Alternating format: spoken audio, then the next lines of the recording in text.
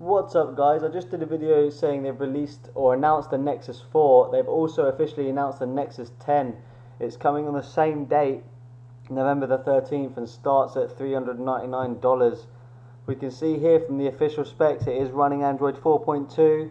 It's a 10 inch tablet with a ridiculous resolution 2560 by 1600 PLS display it's going to launch on the 13th from the Play Store in the US, UK, Australia, France, Germany, Spain, Canada, and Japan. Available in 16 and 32 gigabyte variants. You can see the price here: 399 for the 16 and 499 for the 32.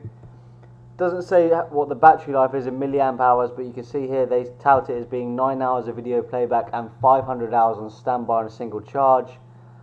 And the user-friendly sw switching features of Android 4.2 so I'm guessing you're going to be able to change user accounts which is really really nice.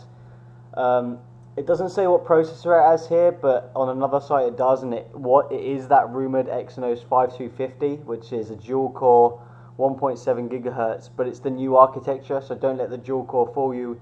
That is the strongest CPU and GPU combined. It is the new Mali 604 this thing is going to rape in terms of performance so do not worry about that um, so yeah, it's coming. Let me know what you think.